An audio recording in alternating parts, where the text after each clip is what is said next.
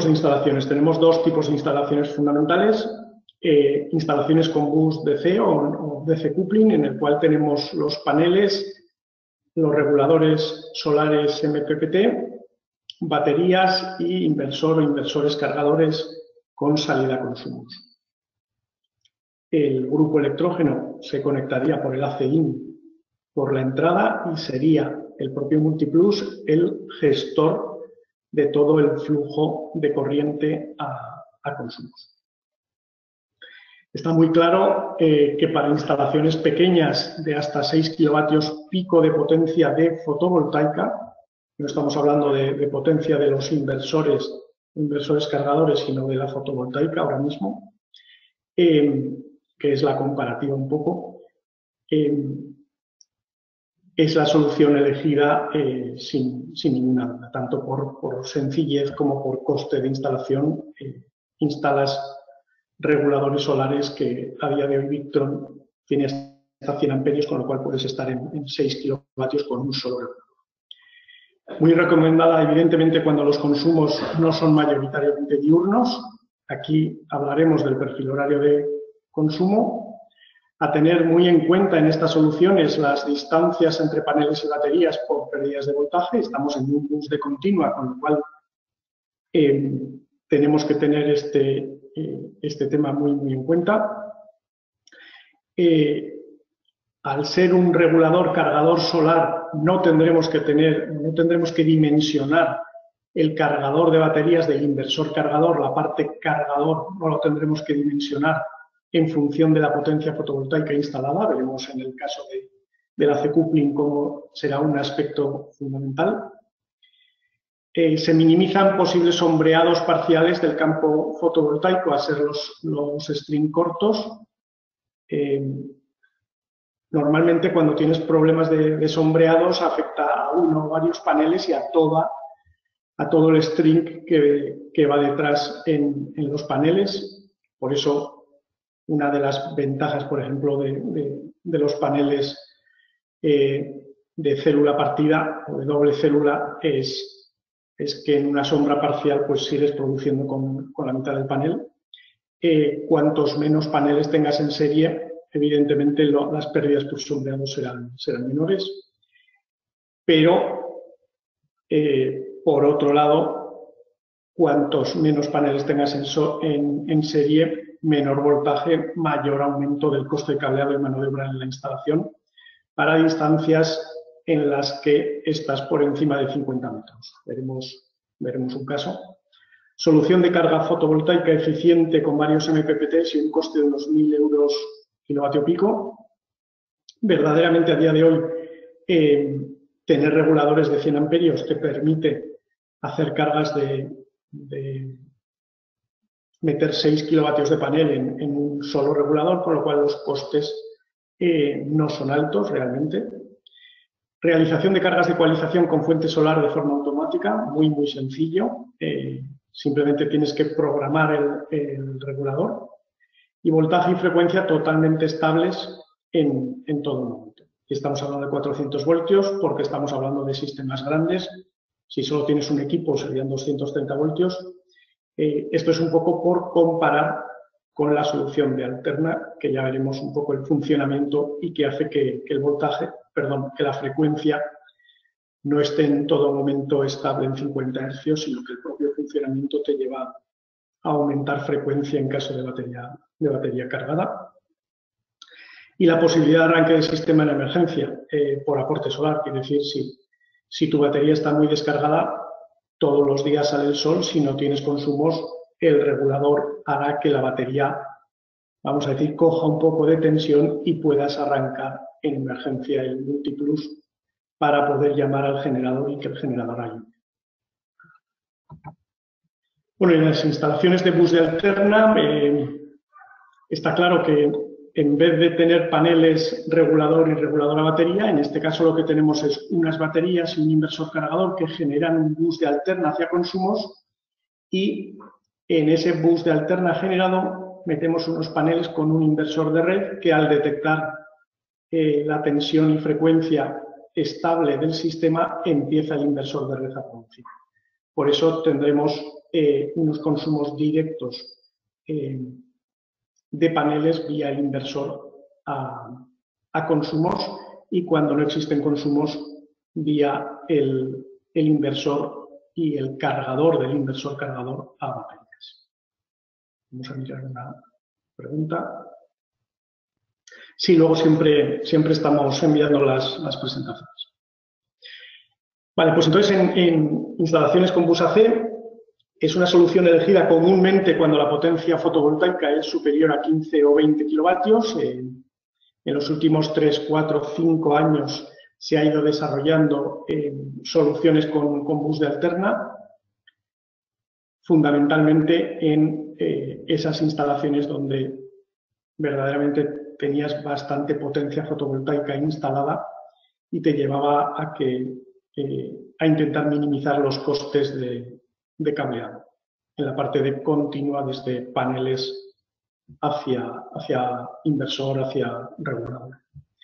Utilizada en los últimos años cuando los consumos son mayoritariamente diurnos, está claro que es fundamental el perfil, horario de consumo eh, y que en este caso tengas consumos diurnos. Eh, si tuviese solo consumos nocturnos, lo que haría sería no tener aquí durante el día consumos o prácticamente no tener, con lo cual todo el flujo va a estar eh, todo el flujo va a estar yendo desde el inversor vía cargador a baterías, con lo cual sería menor la, eficiencia. Veremos un poco luego un caso.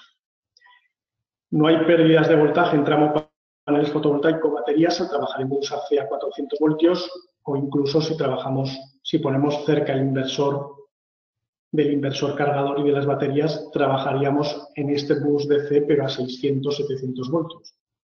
Ese es, eh, minimizas eh, las pérdidas mucho.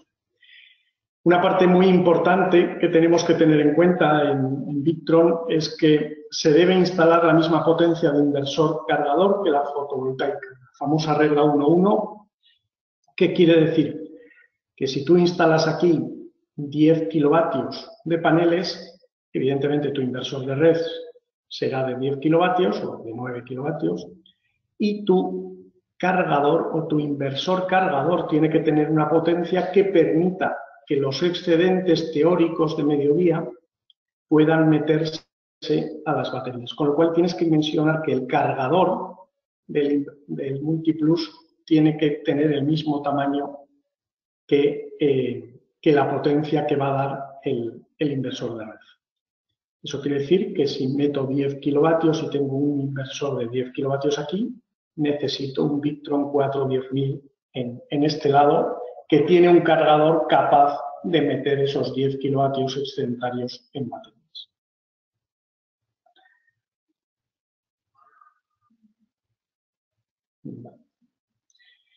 Em, vale, en, este tema de posibles pérdidas por sombreados parciales del campo fotovoltaico al ser los strings largos, sabemos un poco que los inversores de red trabajando a 600, 650 voltios de continua estás metiendo 15, 20, 22 paneles en serie, posibles sombreados parciales en, un string, pues estás afectando a, un string de, 20 paneles, en este caso, respecto a un regulador en, bus DC que, estás afectando a muchos menos paneles. Bajo coste de cableado y mano de obra en instalación eléctrica, toda la parte eléctrica, evidentemente, entre paneles, eh, inversor e inversor hasta baterías, al trabajar a muy alto voltaje tienes mucho menor coste uno o varios MPPT y coste de unos 1.000 euros kilovatio pico con potencias fotovoltaicas superiores a 20 kilovatios. Lo que queremos decir es que un, inversor de, eh, de, 20, de 20 kilovatios puedes estar en torno a en torno a los dos, a los 2.000 y 2.500 euros. Imposibilidad de realizar cargas de ecualización con fuente solar de forma automática, eh, cuando tienes una entrada desde, desde el lado AC out del inversor cargador multiplus, es muy complicado programar eh, ecualizaciones de forma automática en el Multiplus con entrada desde, desde la auto. Vale. Eh, la regla 1.1 es, es como mínimo, es decir, si tengo 10 kilovatios de paneles, el 4 tiene que ser mínimo de 10.000. Evidentemente puede ser mayor, sí. Lo que, lo que decimos es, tienes que tener un cargador de baterías que permita meter excedentes. Si metes un, inversor cargador mayor que, tus paneles fotovoltaicos, evidentemente tendrán capacidad para cargar excedentes de, de tus paneles a media vida. Variabilidad de voltaje 51-52 hercios en caso de batería llena, el propio funcionamiento del sistema eh, cuando no tienes consumos, eh, el excedente solar empieza a cargar baterías, cargar baterías, cuando las baterías están llenas, la única forma de decirle al inversor de red que se pare, o que produzca menos es modificando la propia frecuencia de todo el bus de alterna va subiendo el multiplus la frecuencia del bus de alterna, lo detecta el inversor de red y empieza a producir menos. Con lo cual, hay muchos mediodías con, con batería llena en la que ves que tu red generada eh, no es de 50 hercios exactos, sino está por encima de 50 y por encima de 51 hercios. Posible potencia de retorno a grupo electrógeno en caso de excesos eh, solar en carga completa. En este caso, como tienes que asegurar cargas de ecualizaciones, esto trabajando con, batería, de, con, batería de plomo, no pasa en el caso de litio y es una de las ventajas del litio. Eh, como tienes que asegurar ecualizaciones cada, cada, cierto tiempo para hacer un mantenimiento eh, bueno de baterías, tendrás que llamar al grupo electrógeno a cargar cada, cada cierto tiempo. En esa carga completa que tiene que hacer de baterías eh, en la etapa de absorción que se caracteriza por un voltaje constante y una intensidad decreciente, en esa última etapa el grupo electrógeno está metiendo muy pocos amperios. Si existe un sol excedentario, como el que gobierna y el que genera el bus de alterna, en este caso sería el grupo al estar dentro del, multiplus, al, entrar dentro del multiplus, el que gobierna es el grupo electrógeno, con lo cual tienes en contacto el inversor de red con un flujo hacia atrás y el grupo electrógeno eh, que puede recibir este flujo de retorno. Es un problema si, si es una potencia alta y si está durante más de medio minuto, un minuto, eh, puede causar problemas en grupo electrógeno los, eh, las potencias de retorno. Y luego, por otro lado, claro, si tú tienes una batería totalmente descargada, el multiplus está parado, no hay, no hay eh, bus de alterna, con lo cual no arrancan los paneles nunca. Necesitas algún sistema de apoyo que te permita reavivar las baterías para arrancar el multiplus y llamar a